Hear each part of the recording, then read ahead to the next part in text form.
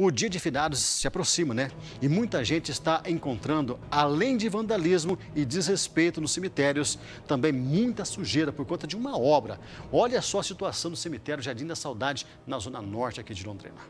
Dona Marli ficou revoltada quando viu todo este barro que foi retirado da rua sobre o túmulo onde estão enterrados o marido e a filha. Banquinho que a minha filha pediu para fazer para ela poder sentar. Olha aqui a situação. Ó, se morre alguém, vai ter que ficar sem enterrar, porque não tem lugar para abrir a tampa também. Vou fazer o que tiver que fazer, porque esse barro aqui, ele vai penetrar, ele não vai sair totalmente. Eu vou querer ver do jeitinho que estava. E não foi só o dela que ficou assim. Algumas pessoas tiveram que fazer tudo de novo, como este vendedor. Tudo bem, a gente está vendo que é para uma melhoria, né? Mas eu acho que poderia ter feito antes, né? Então quem, quem paga sempre é o povo, né?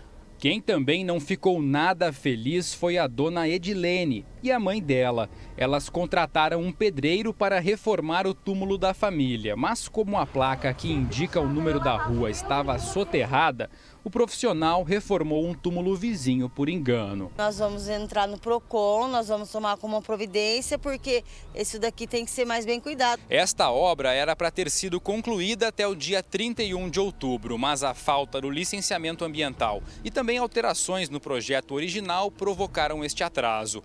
Drenagem e pavimentação vão custar mais de um milhão de reais. E agora as duas empresas responsáveis se comprometeram em limpar os túmulos que estão sujos e também ressarcir os concessionários, caso haja algum dano material. Entre hoje e amanhã vai ser retirada toda essa terra, vai ser acertado o, o, o nivelamento do chão, aí vai ser jogado um pedrisco em cima para que possa haver o trânsito de pessoas normalmente.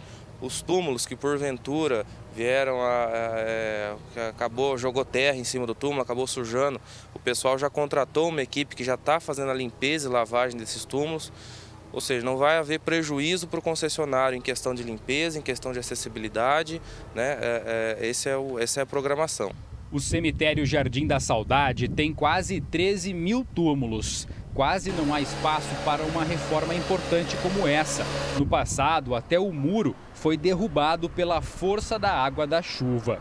Além disso, existem vários casos de vandalismo. É possível encontrar até túmulos abertos. Estima-se que quase 150 mil pessoas devam visitar os cemitérios municipais de Londrina neste feriado.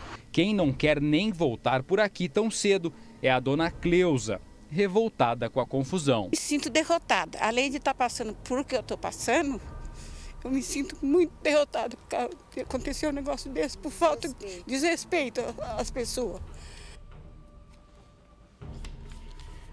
Você vai falar o que da situação dessa? Vai falar o que, amigo? Acho que não precisa falar nada, né? A matéria por si só já diz tudo.